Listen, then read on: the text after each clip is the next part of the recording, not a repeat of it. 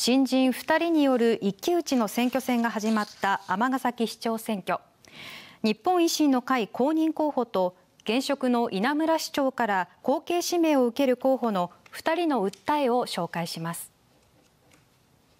尼崎市長選挙に立候補したのは届け出順に日本維新の会新人で社会福祉法人理事長の大原隼人さんと無所属新人で尼崎市の前の教育長の松本慎さんの2人です。新しい尼崎を作っていくために子どもたちに誇りのあるこの尼崎を未来を作っていくために全力で尽くしてまいります。ぜひ皆さん投票に足をお運びいただき自らの手でこの尼崎の未来を作り上げてほしい。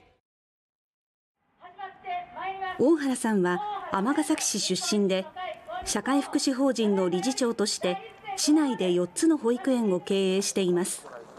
皆さん行ってまいります給食費の段階的無償化やベイエリアの活用を公約に掲げ尼崎から兵庫県と大阪府の連携強化を図ると訴えます。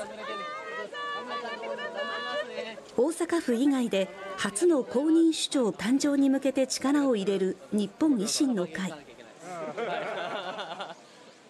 出陣式には吉村博文共同代表も駆けつけ維新が行ってきた大阪市の改革実績を強調し尼崎市ももっと住みやすい街になると訴えました。大原さんは子供広い女性18歳までこれ無償にするっていうの言っていますよ。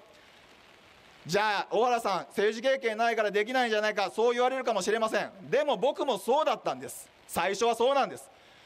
段階的に給食の無償化もする。これも実際は選挙の前になってやるやるやる言う人多いでしょ？でも僕たちは実際にやってきたんです。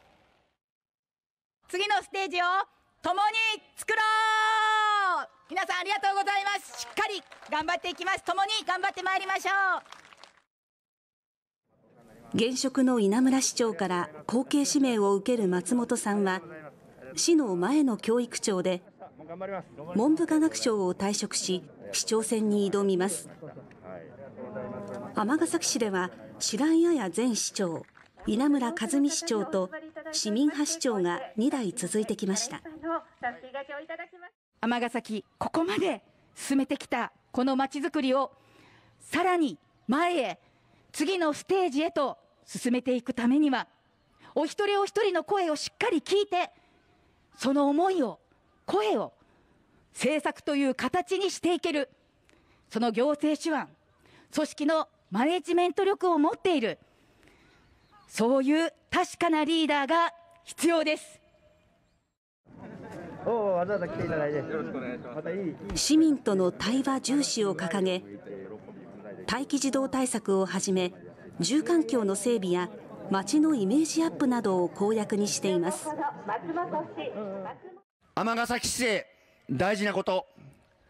それは市民の皆様に寄り添うことであります。